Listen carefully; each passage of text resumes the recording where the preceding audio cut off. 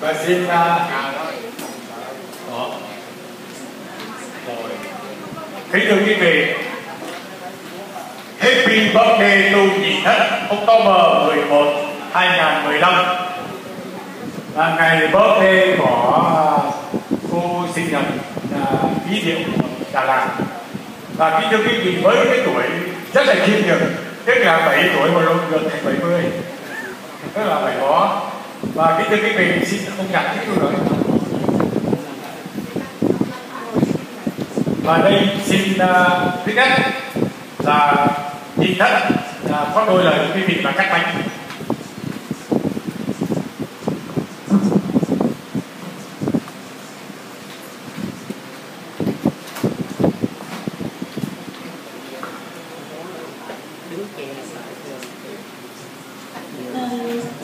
xin lỗi thấy rất cảm động thì để anh chị quan anh à, trưởng nhóm Đà Lạt Hồng Hôn đã quan tâm để nhớ đến ngày sinh nhật của Nhi hết à, anh chị đã bí mật phổ biến ờ, với các anh chị là tổ chức ngày sinh nhật hôm nay.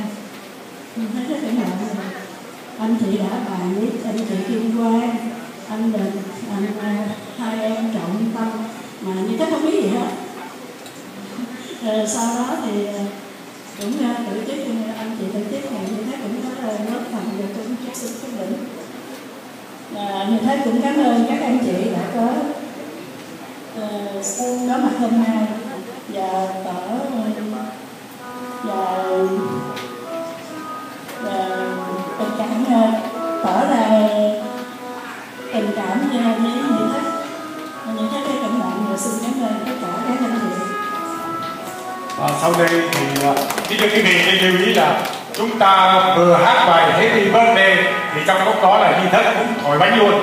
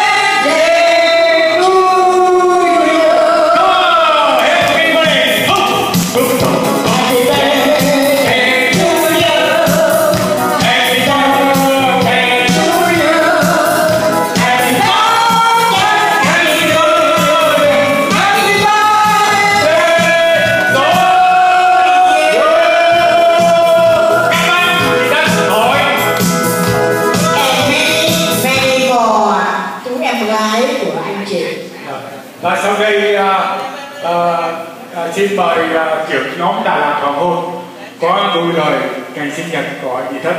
Kính thưa các anh các chị, cô Nhị Thất là một lần sang ngang nhưng mà khi mà cô đi sang ngang thì đi trên trên uh, chiếc uh, limousine thì đến Oceanside cái cô restroom cô bảo thôi cho cô xuống để cô uh, đi to đi restroom và cô đang mất tích luôn. Và là vì cô thương anh em chúng ta lắm cho nên cô ấy trở lại và làm thư ký chứ không bao giờ cô ấy lại có ý nghĩ đi lên nữa. Ngày hôm nay những tình đó thành ra tất cả các anh các chị cô rất là đơn neo. Thành ra các anh các chị nếu anh các anh các chị thương mến các anh các chị tặng và một cái hoa cho cô ấy có nhụy có nhụy nhé? À, chúng tôi cũng sẽ bắt đầu làm dạ. nay là chúc cô được mọi sự may mắn khỏe mạnh luôn và vui tươi và vẫn luôn luôn giữ cái chức vụ thơ ký muôn năm của chúng ta. Dạ, em xin và Đà Lạt Hoàng Hôn rất thân hạnh được tổ chức sinh nhật của Nhi Thất lần thứ hai và hình như có trưởng nhóm Đà Lạt Hoàng Hôn lần thứ nhất một lần đó. Và hy vọng rằng nếu quý vị chúng ta ai có muốn tổ chức sinh nhật tại Đà Lạt Hoàng Hôn thì xin quý vị cho biết để chúng tôi sẽ tổ chức một sinh nhật thật là đẹp đẽ và đầy ý nghĩa nơi xứ lạ quê người. Và sau đây quý vị có một tràng pháo tay thật lớn như tất các bánh. Oh.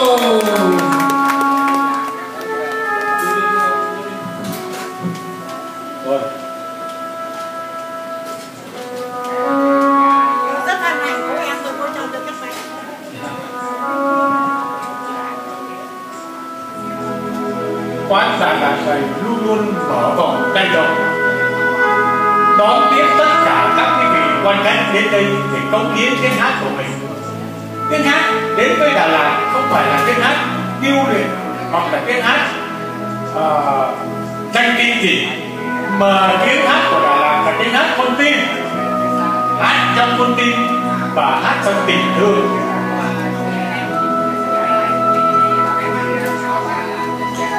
Và kính thưa quý vị sau đó thì ở bên tay mặt tôi có những uh, món ăn bờ cô di thất và đó là Lạt hồng chúng tôi thực hiện sau đó thì sau này sau cái cái bánh rồi thì xin quý vị uh, lên tiền bước lên để tự uh, dùng lấy để dùng những món ăn đó.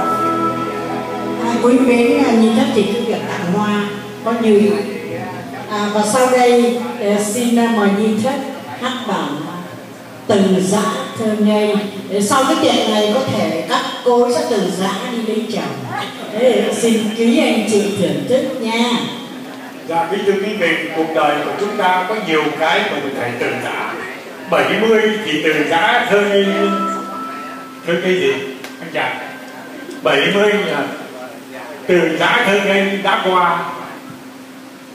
Và 20 thì bước vào cái tuổi mới bước chân vào đời trong cuộc sống của mình.